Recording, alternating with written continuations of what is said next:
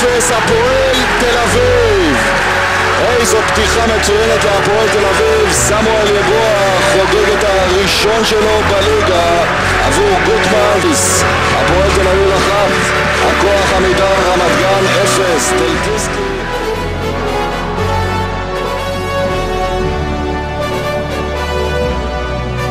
הנה ההזדמנות, הכדור בראש!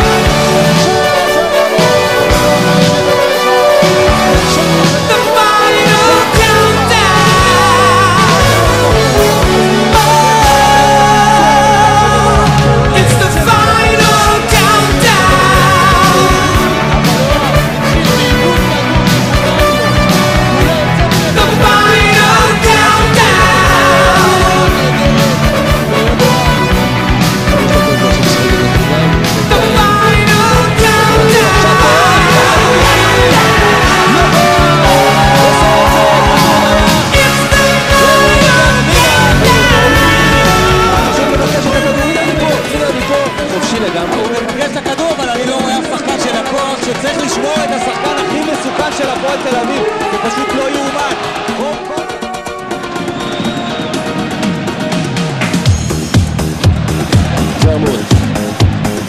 שלושה ברחבה, הכדור על יפה!